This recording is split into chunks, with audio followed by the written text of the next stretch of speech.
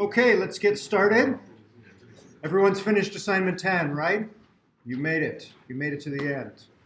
Although it's not the end, it's the end of the beginning. So now you have all of the moving parts for a successful evolutionary robotics experiment.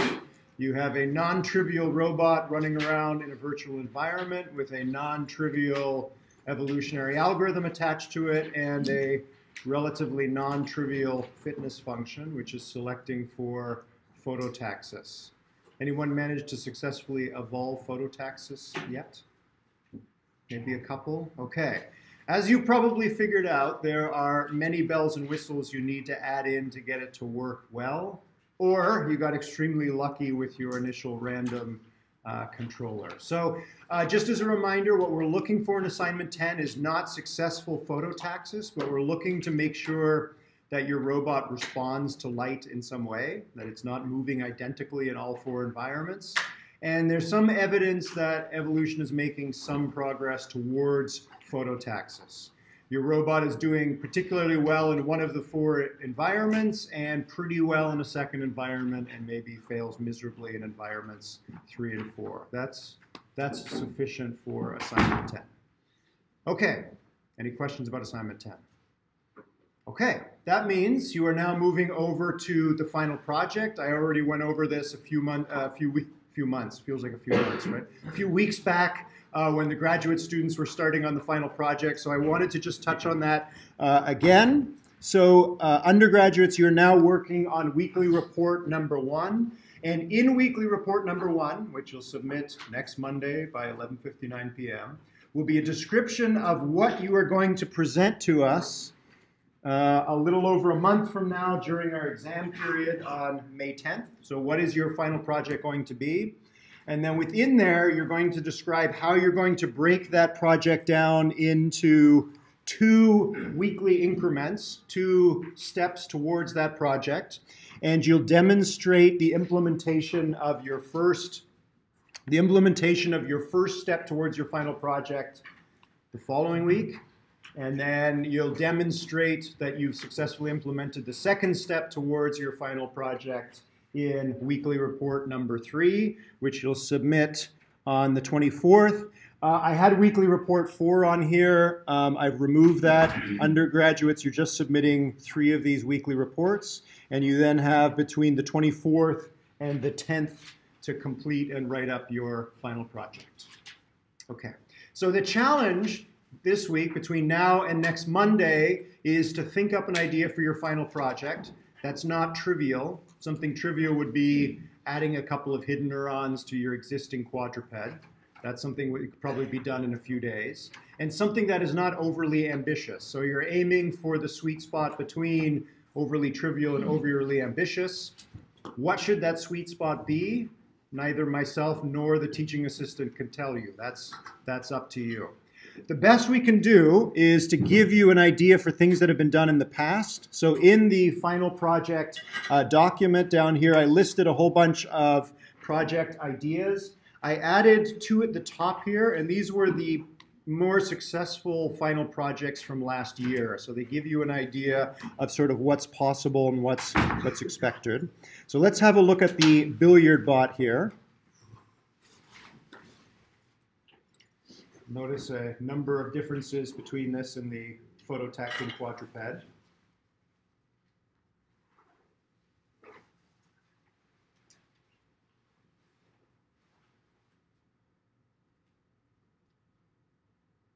Not bad, huh? Okay. How did this student make the, how did this student make the, oops, let's see, let's go back to the beginning here.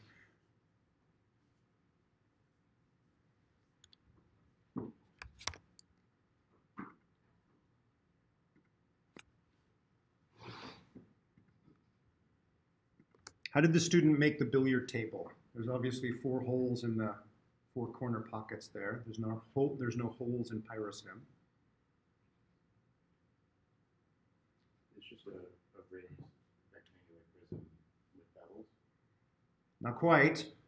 five objects. You take the difference of objects? Can't do that in Pyrosim. You just lay five objects with the right, ones around the edge being shorter, and then four more around the edge taller for the ramps. Getting closer. The green itself, It's, is it a rectangle and then on the side there are two other rectangles?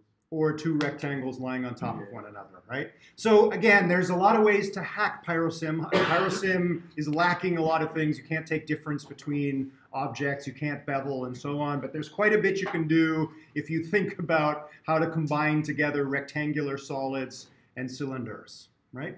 There's also no spheres in, cylind- in uh, Pyrosim. So how do you create spheres? create a cylinder that the radius is the same as the height. But like a cylinder has a radius and then you make the height. The cylinder has a radius, and what's the length of The of a sphere, zero, right? So the length of the cylinder is actually the length of the, the part without the rounded edges. So length zero will give you will give you spheres, right? Okay, so um, between now and the end of the semester, for the first few minutes of every class, I'll give you sort of tips and tricks of, of ways to hack things in PyroSim.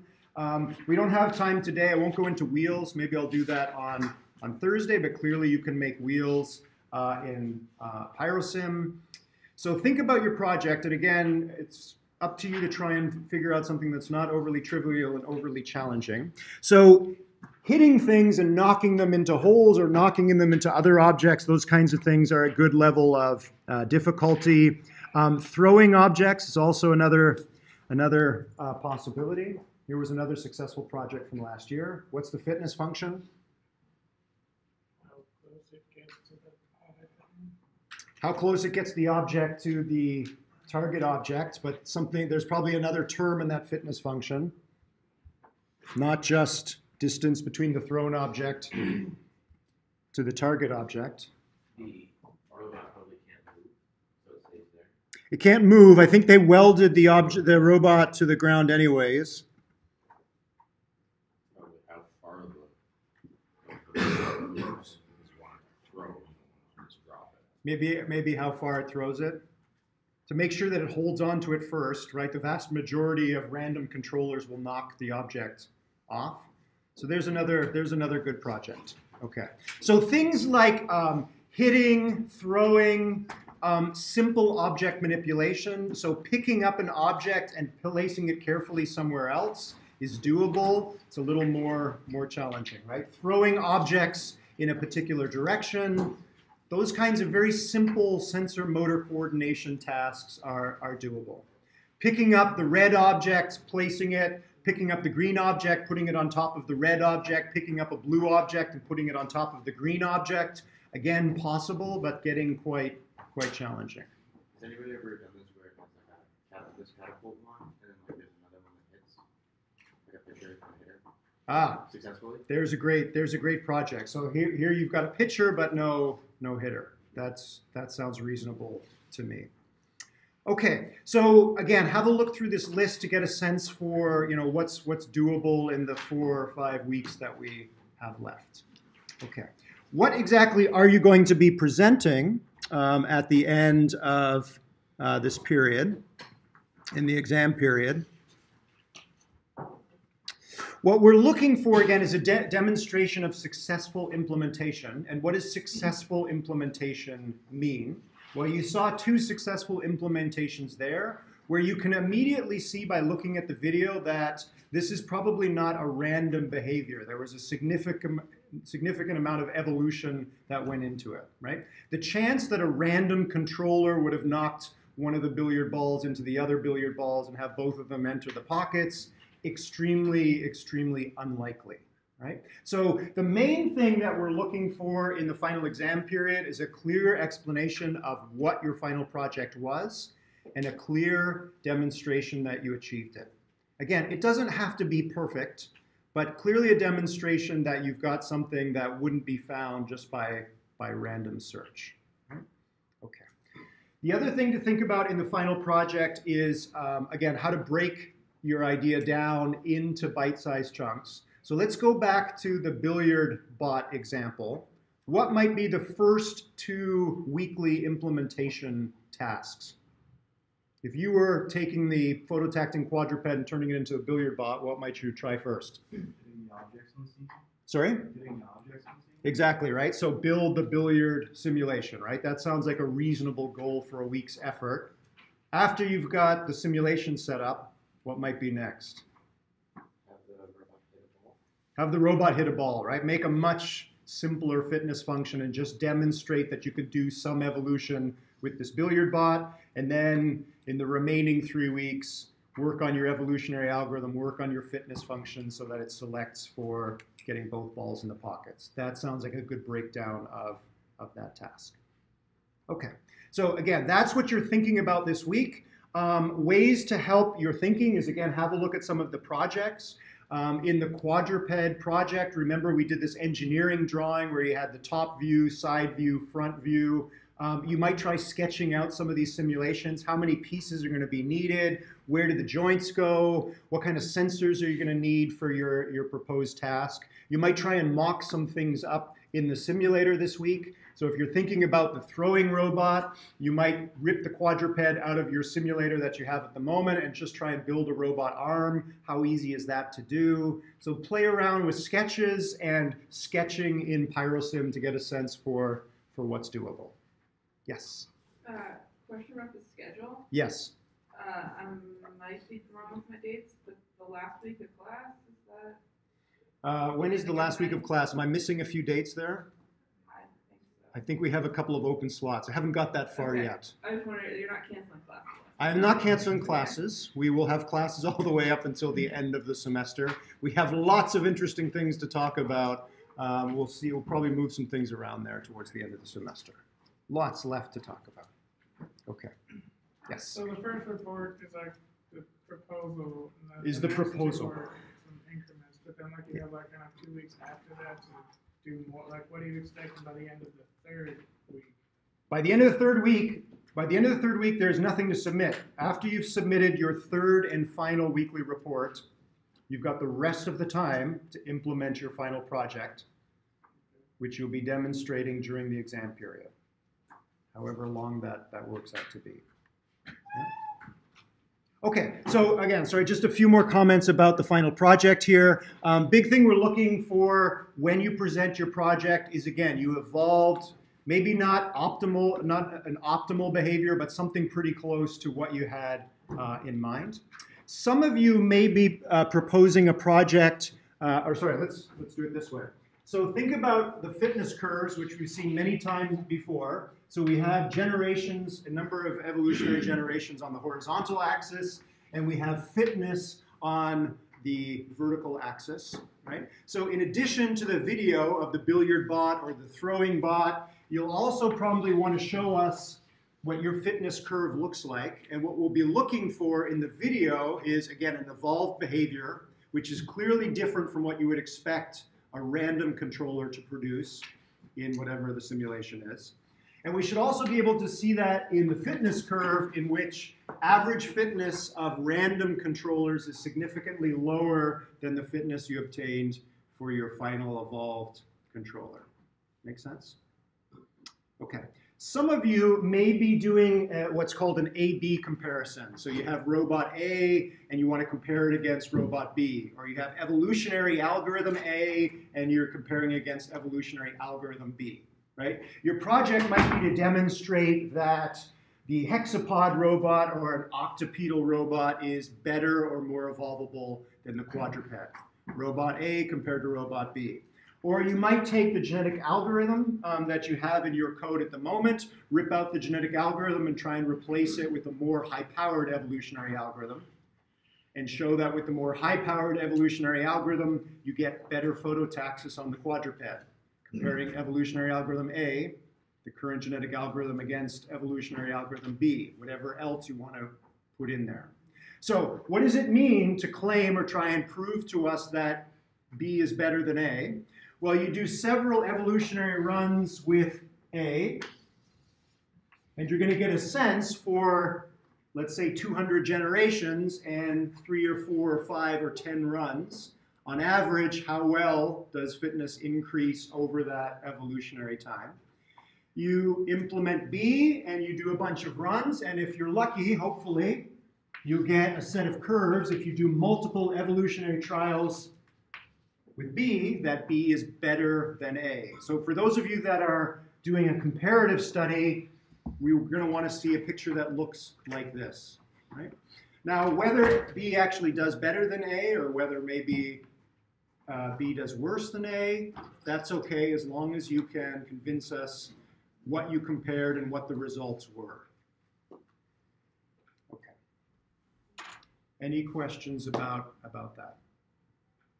All good? Okay, sorry. One last thing I want to say about this. A couple of you have asked about once you get your once you get your simulation up and running and your evolutionary algorithm up and running, how do you collect these results? Well, my advice would be um, is do some coding during the day, and then in the evening start up one evolutionary run. Let it run on your laptop overnight, and in the morning uh, you'll have completed 200 generations or however many generations you set uh, for the night, and you've got one run down. So, um, however, whenever you get everything up and running, however, day, how, however many days you have left until May 10th, one night do a run of A, the next night do a run of B, the next night do another run of A, B, A, B, A, B, and get as many trials of A and B as you can by the time you need to present your project.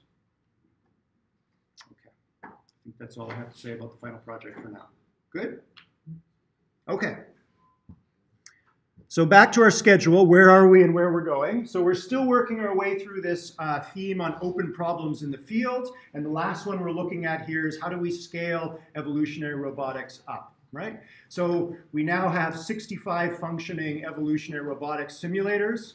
Um, how do we scale that up to hundreds or thousands or tens of thousands? We're going to have to find a way to get lots of people involved and help them collectively influence uh, populations of evolving controllers. And we're going to look at one attempt to do that, um, which, we, uh, uh, which we conducted in my group a few years back, the Twitch Plays Robotics Project. In this project, we're going to try and recruit a huge number of people to not only evolve the robots, but to set the fitness functions themselves. And if we're going to have random people out on the web do that, they may not necessarily be mathematically inclined, so we can't ask them to write down equations representing fitness functions. So we're going to do the next best thing, which is to get them to propose fitness functions in the form of plain English. So they're going to try and talk to the robots. Robots, you should do X. And then they're also going to score those fitness functions. They're going to give a thumbs up whenever the robot does do X, whatever it is they ask the robot to do. And they're going to give a thumbs down whenever the robot fails to do what the crowd asked the robots to do. So that takes us into another aspect of intelligence, which is language. Are these robots clearly don't speak any language, they don't speak English. How are they going to understand a fitness function that's posed to them by the crowd in plain English?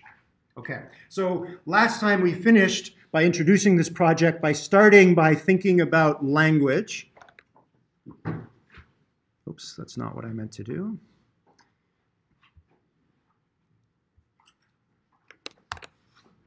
Okay, so remember that the, the, last time we talked about language at the beginning of the semester, we had the Chinese room problem, where we have uh, something or someone in the room that doesn't understand language, just sees a whole bunch of signals, see, sees a whole bunch of symbols, has a lookup table and says, if you see this set of symbols, write this set of symbols and pass it back out of the box, right? So there's this sort of strange situation where with a big enough lookup table, you might have something that's able to fool people outside the box into thinking that it understands language, where clearly the thing inside the room does not understand this language, which, again, depending on how you think about the Chinese room, it calls into question what exactly do we mean by understanding language? What does it mean for a machine or even a human to understand language? How do we know when something or someone understands language? The Chinese room uh, has an old history in AI and has influenced a lot of approaches in AI, which basically are also attempts to teach machines to manipulate symbols, or in the Cyc project, predicates, to try and understand language. This has also um, bled into state-of-the-art machine learning methods where uh, deep learners understand language in the sense that they can look at an image and tell you in plain English what is in that image. So we could argue about whether uh, this particular neural network understands cylinders or kittens in YouTube videos or whatever we task the machines to recognize in the images. But it still leaves this sort of unsatisfying feeling that the machine somehow is missing important aspects of the things that it sees in its world. So, in neuroscience, there's growing evidence that humans understand language in a very different way, which is that they fundamentally connect language with action, right? And how do we know this? Well, as we went over last time, in the human brain, in the motor strip, which lies uh, along the medial strip of your, your brain here, is the motor homunculus. So when someone touches your toes, that part of the uh, strip lights up. When you hear the word toes, that part of your brain lights up. And when you say the word toes, that part of the brain lights up. So there is some fundamental connection between language and action. We saw, uh, we ended last time with this slide, a recent uh, paper that uh, placed people in a functional magnetic resonance imaging uh, machine, an fMRI. Person just lay there quietly and heard various words. They heard three words which phonetically are very similar to one another lick, pick, and kick. They sound similar. You would expect naively that because those words sound so similarly, that the brain would light up in very similar ways, and that is absolutely not what happens. The brain may hear these as phonetically very related, but they are also very different in that they relate, they're motoric words. Motoric words are words which simply light up the motor part of the brain. And they, as not surprisingly, they're usually verbs that have something to do with body parts or, or actions, right? Lick lights up the mouth part of the motor homunculus. Pick lights up the finger part of the motor homunculus. And kick lights up the feet and the lower leg part of the motor homunculus. So, as far as we know at the moment, we still don't know how humans learn and interpret and generate language. But unlike current methods in AI, there's a fundamental connection between language and action. Okay. So there's growing evidence for this in neuroscience. There's also evidence that comes from linguistics. This is kind of an interesting one for those of you that are interested in language. Uh, George Lakoff, very uh, world-renowned linguist, wrote a series of books uh, about this connection between language and action. And one of his most compelling examples are what he calls embodied metaphors. So imagine you are in conversation with, uh, imagine you're in conversation with someone who is a non-native English speaker, and they have never heard the idiom before, don't jump to conclusions. You're in a heated argument with this person, you're both trying to make your points, and they conclude something and you point your finger at them and say, don't jump to conclusions. Most non-native English speakers will understand what that idiom means the first time they hear it without you having to explain it to them. Why?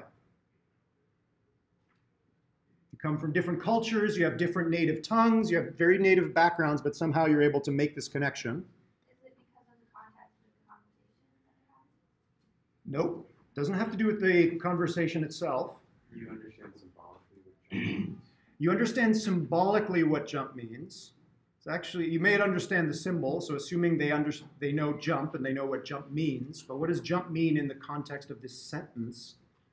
But if you you know what it feels like to jump, you're you're going from here very rapidly with little control, just landing somewhere. You, both of you who come from very different cultures, you have very different backgrounds, very different experiences, you may be different genders, you may have different age, come from different age groups.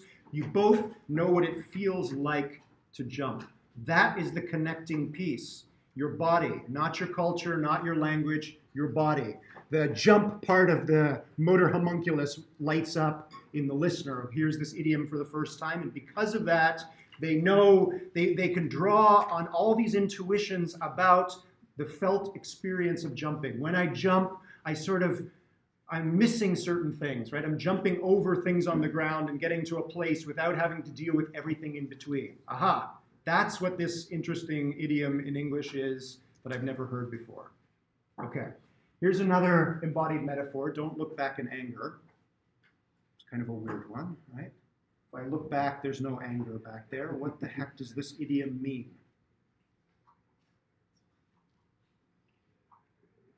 If you take it literally, obviously it doesn't make much sense. What, is, what does this idiom mean?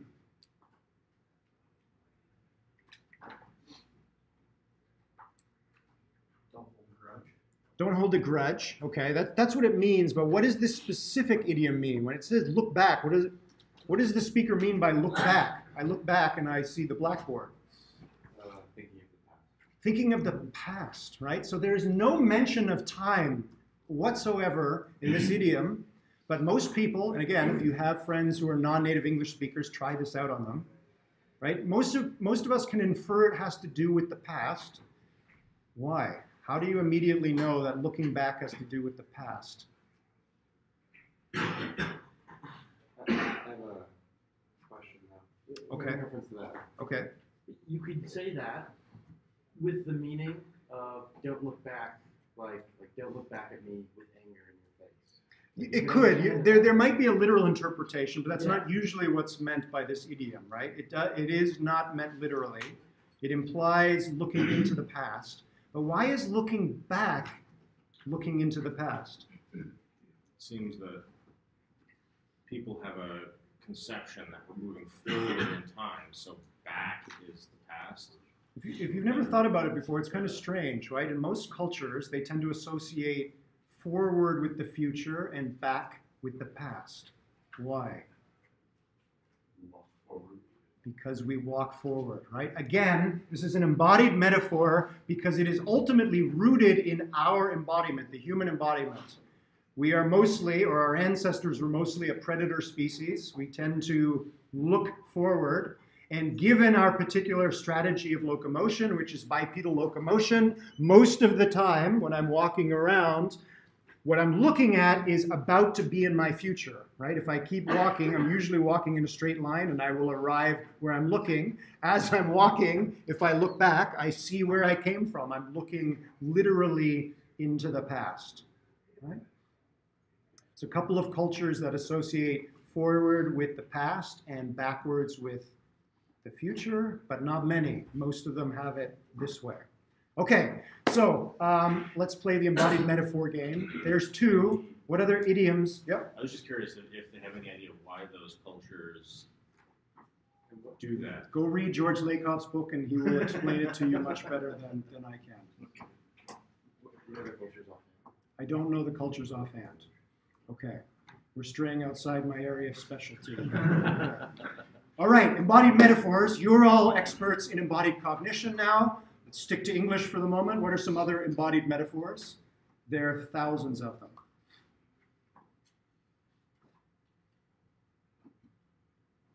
I'm looking forward to your ideas. Uh, I was a bit like kind of don't jump to conclusions, look before you leap. Look before you leap. That's a great one, right? So again, has to do with our perceptual system and our movement strategy. Look before you leap. That's a good one. Yep. Others?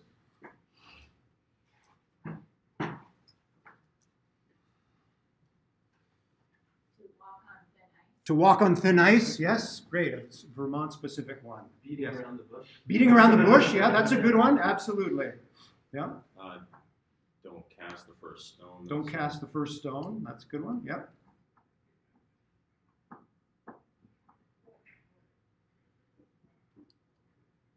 Tricky. It takes a little bit of getting used to. Use some elbow grease. Use some elbow grease. That's a good one. Yeah, yeah, absolutely. Sure. If you don't have elbows, it doesn't make a lot of sense. All right, I'm not going to take this lying down. I want to hear a few more before we go on. I've got my eye on you. I've got my eye on you. That's a good one. Okay. Some of them are more literal and some of them are more figurative, right? Kind of interesting. I've got your back. That's a great one. I love that one. back. Watch your back or I've got your back. Very good ones, right? One of the problems about being a predator species where most of your perceptual systems are facing forward, unless you do this, right? You need someone to get your back. On the same line, eyes in the back of your head. Eyes in the back of your head. That's a great one. Yeah, exactly. Put your best foot forward. Put your fe- best foot forward. Yeah, absolutely. So we are an asymmetric species. You tend to, uh, most of us are righties, a few of us are lefties. Same thing goes for your feet. If You go snowboarding or surfing, you'll figure out what your best foot forward literally is. Hand in hand. In? Okay, now we're getting the, the hang of it. Yes. Hang on. Hang on. There you go. Okay. Okay, great game to play if you're interested in language and the things we've been talking about in this class. Think on it. Okay. Okay. Cliffhanger. Cliffhanger, yeah, that, that counts. That counts. It's not, yes, exactly. Sometimes it lines imply. Okay, so assuming we there is this connection between language and action, it suggests a way forward, a different way forward for getting machines to understand language. And remember, that's what we're doing in this lecture. We want machines to be able to learn language so that we can have large numbers of people teach them fitness functions and train them on those fitness functions. So let's start with a particular symbol. And remember, um, did I mention this when we talked about the Chinese room problem, the symbol grounding problem? Did we talk about the symbol grounding problem? Maybe I didn't mention it. Okay, the symbol grounding problem is related to the Chinese room problem because language is made up of a whole bunch of uh, symbols. And symbols for our purposes are just going to be English words jump, then, red, green, and so on. Okay. If you try and teach a machine, like in the Chinese room problem or in the Cyc project, you have a whole bunch of symbols and you can, the machine can learn relationships between those symbols, but it tends to go around and around and around between these symbols, right? This symbol means these other symbols, but it's sort of cyclical, right? It's going around and around. There's no grounding of the symbols. The machines don't really understand Bill Clinton uh, or United States President uh, in the same way that we do because we ground it in experience, right? So the symbol grounding problem is the problem of how do we ground symbols in felt experience. And the, the results from neuroscience and linguistics tell us that humans did it. They made this connection between action and language, so maybe we can get machines to do the same thing. Okay, so let's take one symbol, J-U-M-P. Let's assume we have a machine or a human who doesn't know what J-U-M-P knows. All they know is that as they move around in their environment, they can sense, so we're talking about sensory data now, they can sense pressure on the soles of their feet, and as they're moving mm. around from time to time, they actually jump, and when they do, there's a sudden drop in the pressure on the soles of their feet. They're off the ground. And whenever they do, they hear somebody say J-U-M-P. Someone points at them and says J-U-M-P. Whenever this happens, whenever they experience this, they hear this symbol. And if they do, if they're a learning machine, they will start to associate these two things together. Right? They tend to co-occur in time. Whenever I feel this, I hear this. So JUMP, if you were to ask this machine after a while what JUMP means, it will do this. It will jump. It will show you that it knows what jump means by jumping, right?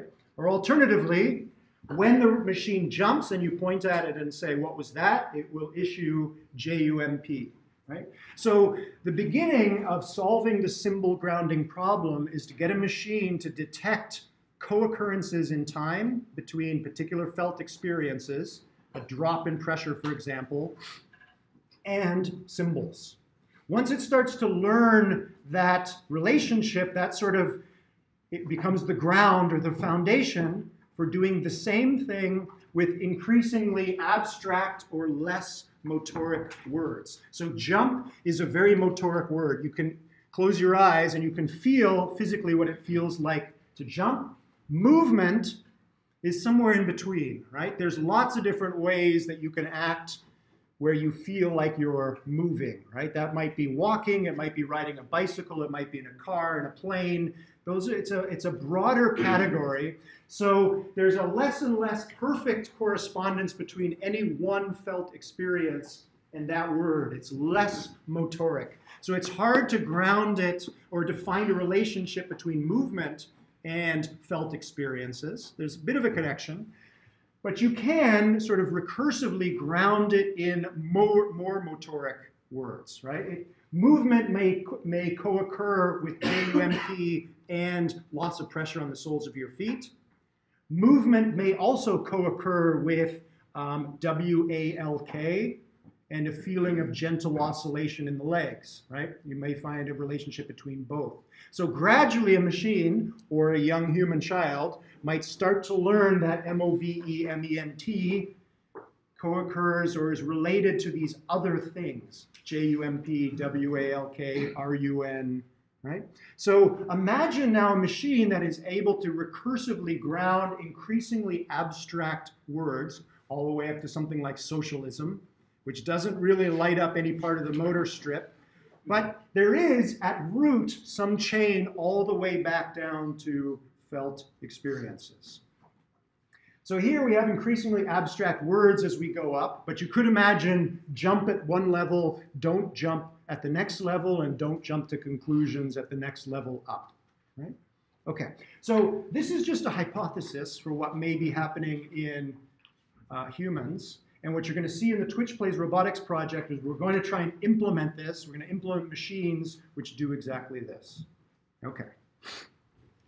Okay, so how does this work? I'm going to walk you through the Twitch Plays Robotics project, and you're going to watch evolving robots that ground, gradually ground English symbols, English words in felt experience. And they're going to do it in four stages. So I'm going to walk you through the experimental procedure here. Step one, the machines are going to act. So in PyroSim, they're going to move around at random.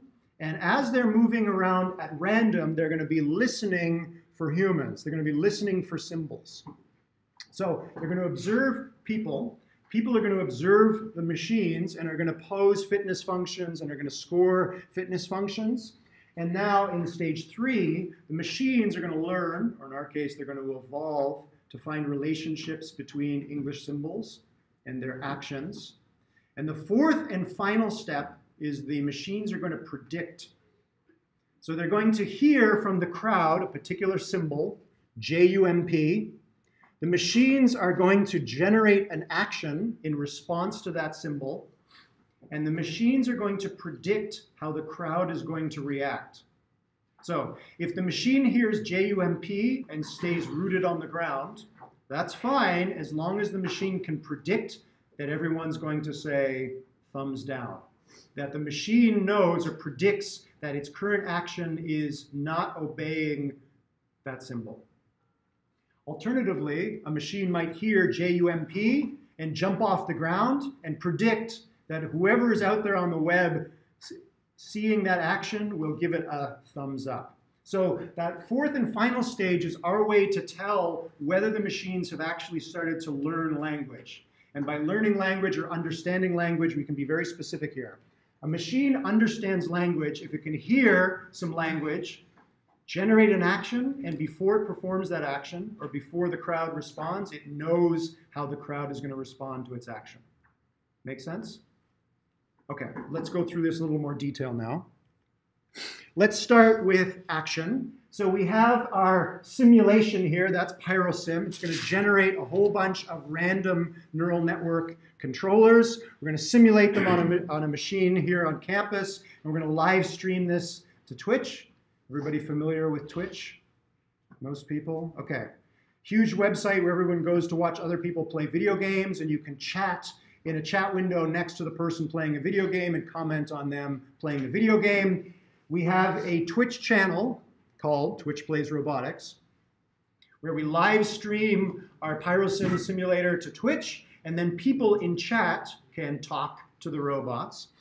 As they talk to, uh, as they talk to the robots, we have a chat bot which is going to scrape the Twitch channel and pull back all the chat and put it into a database. So in the database, we're going to have a growing number of controllers and chat. And because we have a timestamp associated with each controller in each chat, we know which robot or which controller the crowd was, was talking to. Okay. I'm sorry, I forgot to mention this was work actually done in the Unity physics engine. It's a different physics engine from uh, PyroSim. Okay.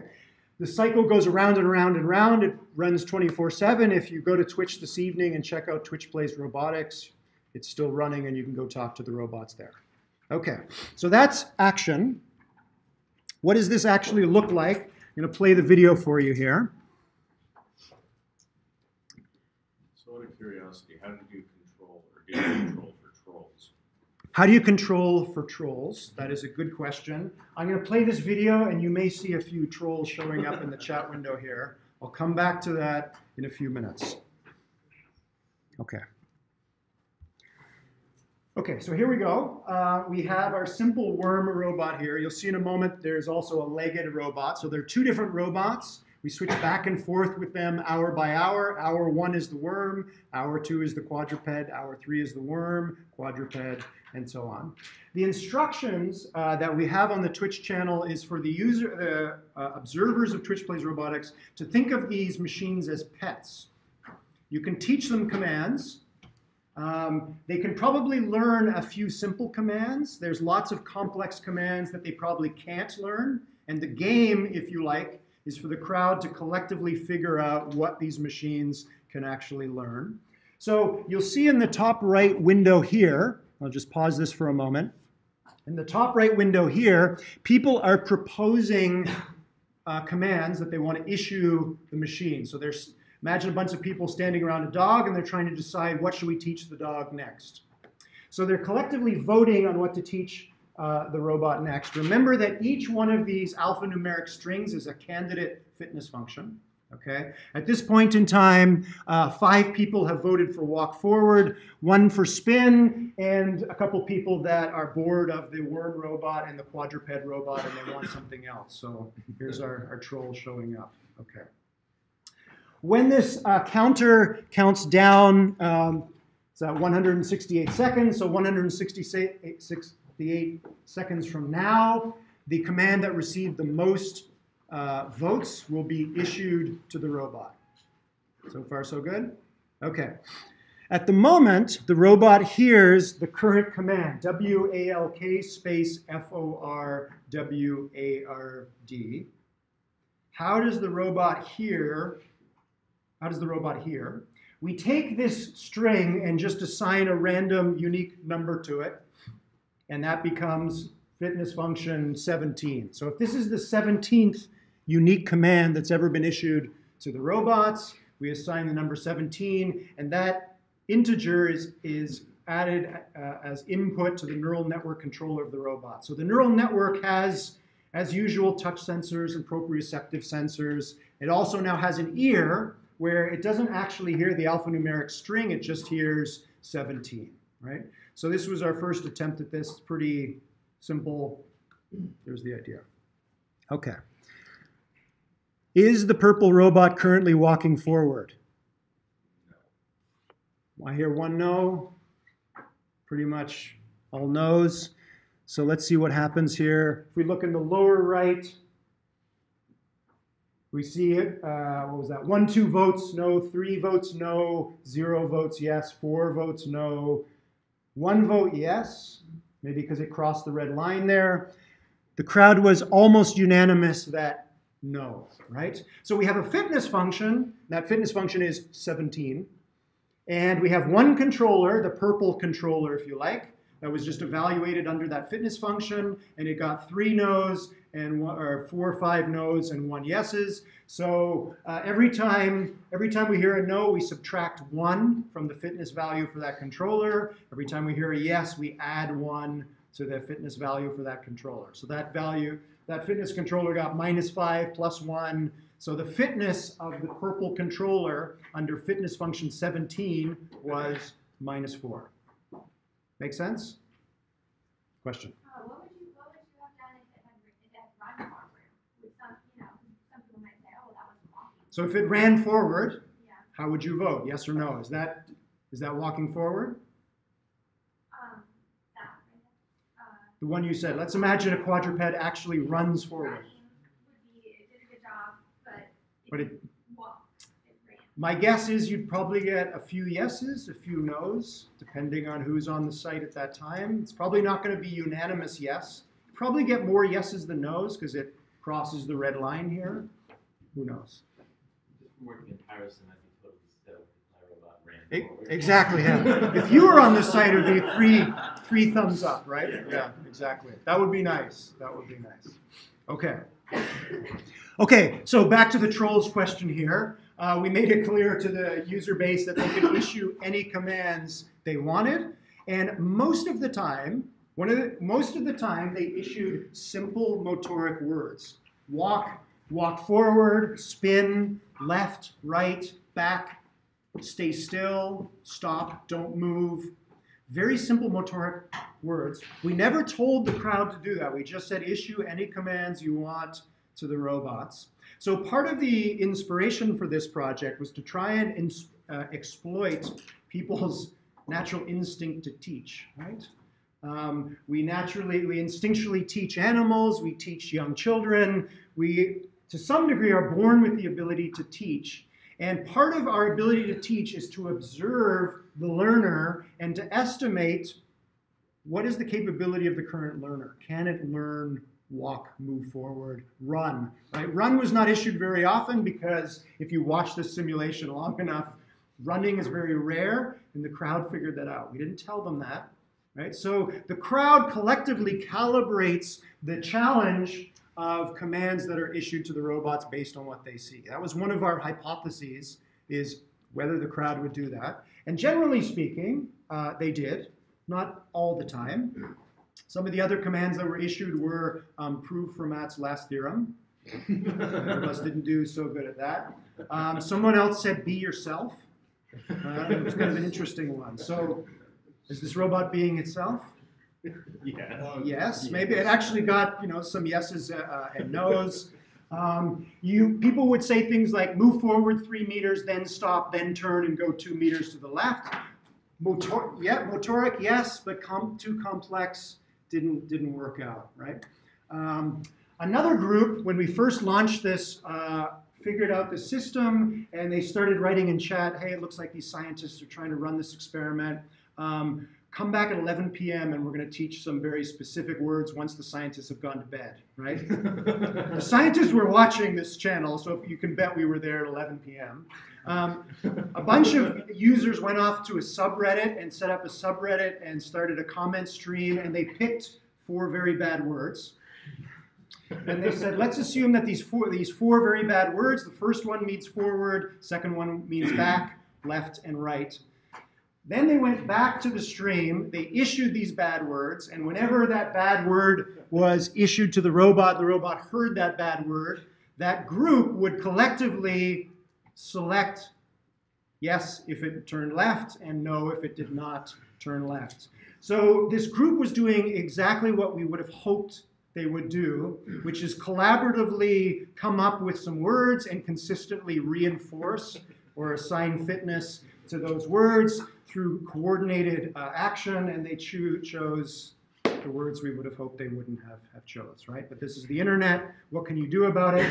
Um, Joey Anetsberger was the primary author on this work. She took this course a few years ago, and this was a big extension of her final project. Um, we eventually wrote this up and had it published, and we wrestled with whether to include the four bad words in the paper, and they're in there with asterisks. And if you go ask Joey, she'll tell you what those bad words were. Uh, could you not have gone into the robot and changed whatever commands it had gotten, and then changed those bad words to just be turn left? We could have censored things, Uh-huh. right? Um, which we thought we might have to do. The interesting thing, part two of this story, is the bad guys and girls were eventually outvoted by the good guys and girls. Another group said, wait a second, there's this bad group that's coming at 11 p.m. So, hey, everybody, come here at 11 p.m., and every time you see one of the bad people give a down vote, give an up vote. And whenever one of the bad people gives an up vote, give a down vote. And they literally outvoted the bad people. So the robots heard those commands, and in the first night, they started to get consistent reinforcement, meaning they were starting to learn that this bad word means left. But eventually, that was washed out by the good people so that the robots still heard those words but no longer understood what they meant. Sort of like you hear those words and mommy and daddy are having an argument. They- yeah, those words have lots of connotations, exactly. Same thing for the, for the robots. Yes, Do you know the max and average viewer count on the stream? I will show you that in a, in a moment. We'll look at the statistics in a moment. So is there any long-term learning where they like, like learning every time how to recognize this kind of Okay, language? also a good question. We haven't talked about how the robots learn or evolve given this feedback yet. We're just looking at phase one here.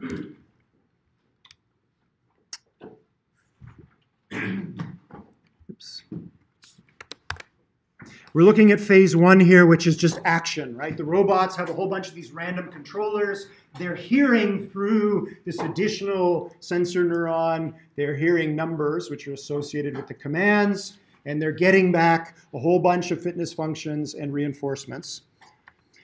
So let's move on to now to observe. How do, the how do the robots handle all of this incoming data from the crowd? So um, Joey tried to represent this with uh, a tree here. So remember I mentioned there are two robots, the worm robot and the quadrupedal robot.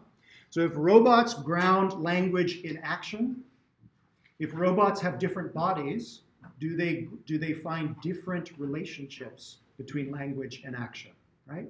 Walk may mean something very differently to the quadruped than it does to the worm. So that's why we had these two different uh, robots with two different bodies, R0 and R1. For each one of these robots, the crowd issued a large number of commands. So Cij, the I subscript is going to reference the robot, so I can equal 0 or 1. So C0 would indicate a command that's issued to the worm bot, C1 will indicate a command that was issued to the quadruped. When j equals 0, that means that was the first command ever issued to that robot. So C00 represents the, the first command that was issued to the worm robot. C10 represents the first command that was issued to the quadrupedal robot. So far, so good. And remember, the commands are just integers, right? We take these, we are looking for unique alphanumeric strings, and they become one of these C's. Okay, for each one of the commands, um, and if you go back and watch the video, the, a command is issued to the robot for three minutes. During those three minutes, six controllers are evaluated under that command, and each controller controls the robot for 30 seconds. So each command, every time it's issued, collects six uh, controllers. If the command is issued again, either five minutes later or the next day or the next week, then more controllers are evaluated under that command. So we have, over time, a growing number of commands, every unique alphanumeric string issued to the robots by the crowd. And for each command, we have a large number of these n. So now n i j k. so a k equals 0 is the first controller that was evaluated on the robot under the jf command on the i robot. So far, so good? Okay. Last but not least, for each controller, we have two numbers associated with it, S0 and S1. S0 is the number of downvotes that this controller got under the JF command and S1 is the number of positive reinforcements that controller got under that command, right? And remember, all the crowd has to do is say, why, why is positive reinforcement no, an N or no is negative reinforcement. So far, so good? Okay, so as this runs, as you can imagine, we start to collect hundreds of commands, thousands of controllers, and lots and lots of reinforcement. So I'm going to show you a second video now to give you a feel for how this works in practice. So here's a greatly sped up video of Twitch Plays Robotics. So you can see as this goes, we have large numbers of controllers. People vote for different commands.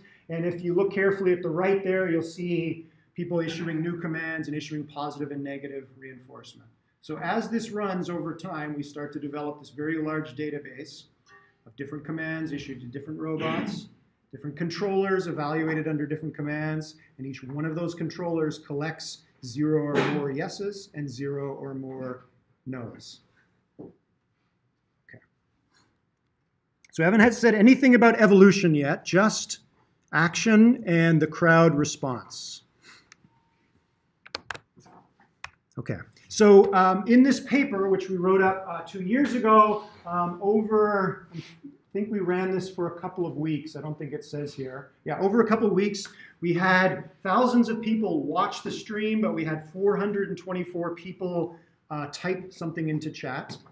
Um, we sent 57,000 uh, controllers. So everywhere that you see evaluations, that just means a controller. Okay.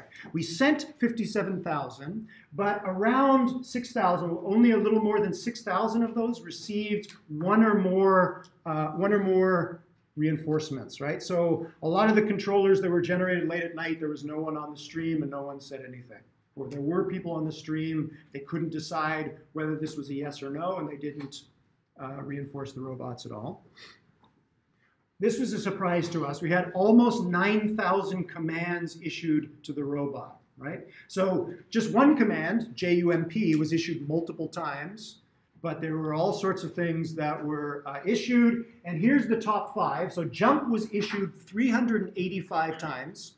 So that's 385 three minute periods during which jump was issued to the robots. Yes? Is that nine thousand different commands? 9,000 different commands, exactly. It's amazing. So does that count like when when we as humans see that's the same thing, but like you spelled it incorrectly? or Yep, absolutely. Like start walking forward. Like, So JUMP and JU space MP would be considered different commands. JUMP with the space at the end is also a unique command. So we didn't do anything to try and find semantic equivalency, right? We just left that up to the robots and the people. So a lot of those 9,000s are misspellings, jump with an exclamation point on the end, jump with two exclamation points on the end, all, all sorts of things. I think there's a reference in the paper to the full list of all commands, including the bad words. You can see them in there, uh, and off you go. Okay, we got 7,500 yeses and nos combined, so actually less than the total number of commands, which is kind of interesting. Oh, I'm sorry. Joey did go back and look at those 9,000, and after the experiment, she filtered that down to 266 unique commands. My apologies. Okay. Um, okay, mean reinforcement signals per evaluation. What this means is, on average, each controller got slightly more than one yes or no. A lot of them got none. Some of them got one yes, one no. A few of them got two yeses or one yes and one no. On average, a little more than, than one. Each of the 424 people, on average, issued about 18 uh, uh, reinforcement signals. And proportion of positive reinforcement, um, I'll talk about O in a moment. O ranges between zero, which indicates unanimous negative votes. So if a controller gets one no, or three no's, or 18 no's, that's an O of zero, unanimous negative reinforcement. An O of one is one yes, two yeses, 17 yeses, unanimous positive reinforcement. So what does an average of 0.28 tell you? that a lot of the controllers did badly. A lot of the controllers did badly, or Or people said they did badly. That's the difference. According to people, most of the time they were giving thumbs down. Were they giving thumbs down because they were trolling? Did they give thumbs down because they actually thought the robot was not doing what it was supposed to be doing? We don't know. Okay. So that's action and observation. So now, armed with this data set, we're going to try and get the robots now to learn this relationship between action and language, right? There's no learning, no evolution yet. So what Joey did was to filter this data set, and she picked out um, the most popular command, jump. So we're going to throw away all the other 265 unique commands. We're just going to filter out all the controllers that were executed under jump. And we are then also, whatever those controllers are, we're going to throw away any controllers that received zero yeses and nos. So it's hard to see in this picture here, but we're looking for controllers that were evaluated under jump, which received at least one reinforcement signal, at least one yes or no. Joey took all of those controllers that remained in that set and she reran them in the simulator and now she recorded sensor data from those machines. And she recorded just touch information. You can see it a little bit better here. So the touch information was stored in a matrix, uppercase T. So for each controller, each controller generates a matrix T, where each column in T represents one of the robot's objects. One, or, sorry, represents one of the robot's touch sensors. and each row represents one time step in the simulator. So, for example, this element here, which is in the second row in the third column, indicates that the third touch sensor um, fired if that element equals 1, or didn't fire if that element equals minus 1 at the second time step, second row. Okay, so now we have sensor data, we have the command, JUMP, and we have the crowd reinforcement. So now we're going to try and learn a relationship between T and O, which again, as I mentioned, ranges between, I'm sorry, O ranges between minus 1 and plus 1 you can read the math here, but basically we're going to take all of the commands and O equals minus 1 means unanimous negative reinforcement, and O of plus 1 means unanimous positive reinforcement. So far so good? Okay. Here's what that data looks like for the worm robot. So here are all the controllers issued to the worm robot under JUMP that received at least one reinforcement. Each dot here represents one controller. What can you tell me based on this visualization of the data?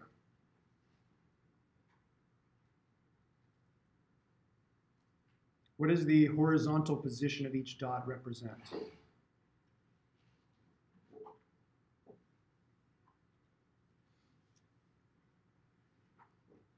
So it represents the proportion of time that the robot is grounded so in essence, what that means is we look at all the rows of uppercase T, and if it, in that row, if there is at least one one, that means at least one touch sensor was firing, at least one part of the robot was on the ground, so it was grounded for that time step, right?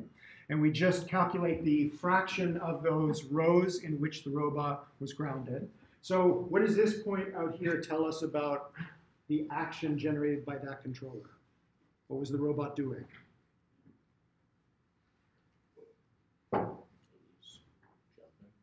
It was- off the ground. It was off the ground, right? The robot felt that most of the time it was off the ground, right? So what is that? About 47% of the time, 47% of the time there was at least one, one touch sensor firing, and 53% of the time none of the touch sensors were firing. This point out here, the robot spent almost every single time step on the ground, right? So that's the horizontal position of the point. The vertical position of the point is O, right? How the crowd reacted. So what do you know about this particular point? How did the crowd react to that point? All downloaded. Unanimous negative reinforcement, right? Points up there, uh, unanimous uh, positive reinforcement. The ones here at zero, remember that we filtered controllers for those that received at least one reinforcement. So how could you get an O of zero if we filtered for One person upvoting, one person. Exactly, or two up and two down, whatever it is, right? Split, split vote, right? The crowd was not sure about those, those actions. Okay, so that's the data that we have for the worm uh, robot. The, yes? Is there, how many of those ones on, on the bottom or the very top where you have unanimous? Yep. Or just one vote? Uh, the vast majority of them were just one, right? Remember, uh, Right, where is it? right. This one here. Most of the time, most of these controllers got one vote. A few of them got two, even less got three, and so on.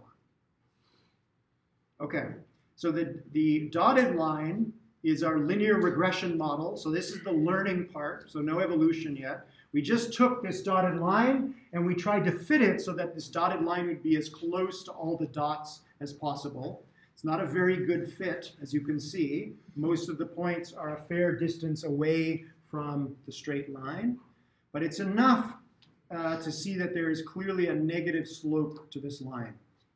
So you remember your, your uh, high school math, y equals mx plus b. So we're learning m and we're learning b here, and m is a negative number. There's a negative slope. What does that negative slope mean to the robot? You do better in the air more. Exactly, right? So if you were to ask the wormbot what JUMP means, it will give you back the dotted line. That's what it means. It means m equals minus whatever that slope is. There is a negative relationship between social response and felt experience as it relates to my touch sensors. So we can claim that the worm robot understands jump in the sense that it has found this relationship between action and language. Um, when, when one, so when one person asks it to jump and then they do well at it, do they store that away and then, and then another person asks them to jump and then do they do that same exact, the same thing that they did for the first one or do they try something else? Okay, so that's a good question, right? So remember that these robots are controlled by a neural network. The neural network has an input layer of sensor neurons. Some of those are touch, some of them are proprioceptive. And the other one is a single sensor neuron that receives an integer, and that integer is unique for every command. So if this robot receives JUMP and it does something, then we take the exact same controller, we set it to the center of the simulator and input a different command, W-A-L-K. What's the robot going to do now? What, what can we be sure of? Is it going to do exactly the same thing? The sensor value, it hears something different, right? It's going to try something different. Now, what that different action is, I have no idea. Yep. Sorry. Yep, that's okay. Was if it, um, because you have sort of lines in here, so it seems, it, it seems to me that it's more than when, uh, person tries, you know, tries to give it the command jump, and when it sort of really jumps, it, it did well, or when it sort of jumps, I is that, is that the line? Yeah, that's, and again, this is results from large numbers of people, right? Many people probably issued JUMP and many people gave yes and no. And across this entire data set, the only thing this robot knows is the less time I spend on the ground, the more to the left my controller ends up, the more positive reinforcement I'm going to get. So it'll try, hi- it'll try to go higher the next time, it won't try to do. It doesn't try anything. There's no evolution yet. These are just random controllers. We, ha- we haven't even got to any evo- evolution. That's okay. Just we're, uh, just random controllers, thousands and thousands and thousands of them. Yep. So it, it seems to me that one, people are pretty bad at scoring things, but um, sort of one question I had off of that was that why you're sort of giving it a fitness function in essence that's purely based on time spent off the ground. Is there do you have the data for the average height Yeah. that it was? Good question, right? So I know that could just be like little hops that people thought it was something. when you think about it, right, what does jump really mean? A lot of these seemingly simple motoric words, when you get down to the nitty gritty, it's not as easy as it, as it seems. So we cheated a little bit by putting in, taking, not taking the raw sensor data, not taking the raw touch, but transforming raw touch in a way that we thought would be easier for the linear regression model to find a relationship here, right? So um, I don't know if I'll get to it today. I'm going to show you the last part of this experiment where we just give the machines raw sensor data and see if they can do it. This was sort of our sanity check to see is the crowd behaving itself, right? Are they giving, is there enough signal in the signals we're getting back from the crowd to find this relationship? Is there a relationship at all, right? It's not very clean, but it is definitely there. Right? So that's, that's a good question. We'll come back to that in a moment. That's the worm robot. Here's the uh, legged robot. Same command, JUMP. We, these are all the controllers that were uh, executed on the legged machine under the same command. We got about the same amount of data. And again, we did regression against this data set and again found a negative slope. We again found that it's not a great fit, but it is a firm fit, so we can be statistically confident that the slope actually is negative. So these two different robots both understand jump and they understand it in the same way. They both know that there is a negative relationship between the amount of time you spend on the ground and positive reinforcement from the crowd. But if you look carefully at the vertical axes of these, and I apologize, they should be equalized. But if I go back and forth from these, you'll notice that the M and the B in these two different models are different. Both M's are negative, but the actual value, and I don't remember what it is, is different.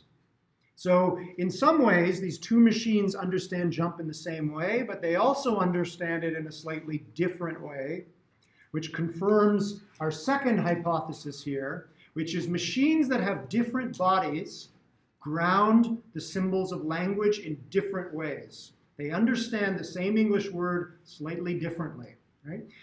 This might seem like kind of an esoteric exercise. Why would we care about that? Why did we bother looking at that particular question? Why does this matter for robotics? Well, because like half of robotics is, is building the robot itself and then sort of tying that to the neural network. So, so if you're, you know, if you're looking to get a robot to do something, you might, you might be interested to know that, you know, different, different bodies, different robots can, you know, can do different things. Exactly. So different robots can do things in different ways. And if they if two different robots ground language in different ways, then presumably a robot and a human ground human language in different ways, or they may, right? And that's problematic because it raises the specter of perverse instantiation again, right? A robot might say, I understand JUM perfectly, eh, but unbeknownst to us, it understands it perfectly in its way, which is very different from how humans understand jump or move or move safely or transport a passenger in this autonomous car safely, right? Grounding, jump, and move is maybe not such a big deal, but dealing with adverbs, move safely, move carefully, move slowly. Most humans, when they hear that, they know what that means instinctually. How can we guarantee that a machine understands slowly, safely, carefully in the same way that a human does? So that's going to take us from a transition about language to robot ethics. And I mentioned we're going to touch on robot, robot ethics in this class. We'll do that um, on Thursday when we finish this uh, lecture. Uh, you have a quiz due tonight. Start thinking about your final projects, and I'll see you on Thursday.